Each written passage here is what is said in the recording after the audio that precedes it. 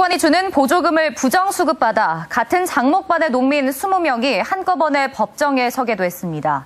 수강생 수백 명의 직업훈련을 맡은 학원도 같은 혐의로 적발됐습니다. 오죽하면 눈먼 돈이라는 이름까지 붙었다고 하는데요. 보조금의 부정수급 실태를 탐사 취재했습니다. 이영남 기자입니다. 울주군의 한 시설 농업 생산지. 한 농민은 2년 동안 비닐하우스 시설 개선에 7천여만 원이 들었다고 울주군에 신고해 자부담을 뺀 절반을 교부받았습니다. 이후 자부담이라고 신고했던 돈을 되돌려받는 식으로 보조금 3,800만 원을 챙겼습니다.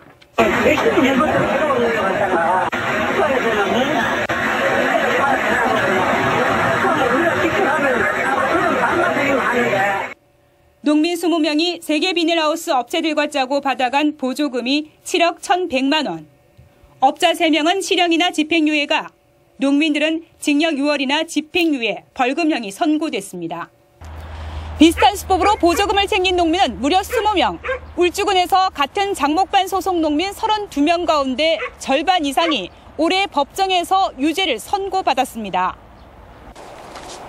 농민 한 명당 많게는 8,900만 원을 부풀려 신고했지만 정부 합동감사 전까지 울주군은 적발하지 못했습니다. 서류 절차를 다 거쳤고 현장 확인도 해가지고 이상 해소기 때문에 우리가 보조금 부한 거고 또 저희들은 자체적으로 뭐좀 부족한 그걸 했기 때문에 동구의 한 직업 소개 업체는 2012년까지 3년 연속 울산 고용센터 취업 지원 민간 위탁 사업체로 선정돼 보조금 1억 천여만 원을 받았습니다. 설립 첫 해인 2010년 근로자 100여 명의 단순 명단을 취업 알선 실적으로 거짓 신고했는데 실적이 우수한 여성인력 개발센터를 누르고 선정됐습니다. 아이가 이런 을 만들어 왔으니까 그런 게 맞는 거라고 믿고 그거를 나중에 알아보니까 그, 그 자체가. 동구의 또 다른 취업훈련 교육원은 근로자 직무 능력 향상 교육을 하면서 20%인 자비 부담금을 허위로 신고해 보조금을 받았습니다. 2013년까지 2년 동안 챙긴 보조금이 2억 7천만 원. 원장 등은 집행유예를 선고받았고 수강생 500여 명도 일부는 조사를 받았습니다. 카드 결제를 했다가 바로 취소하고 해서 그 사람은 진짜 신청해서 돈이 나간 거예요. 최근 2년간 울산에서 보조금 관리에 관한 법률 위반은 이 밖에 시장 상인회가 보조금 2,400만 원을 편취하고 장애인 단체와 노인 일자리 업체 등 선고받은 사건만 7건에 11억 7천여만 원입니다. 현장에서는 공공연한 비밀이지만 행정기관은 서류만으로 국고 보조금을 지급하고 사후 관리도 약해서 부정이 반복되고 있습니다.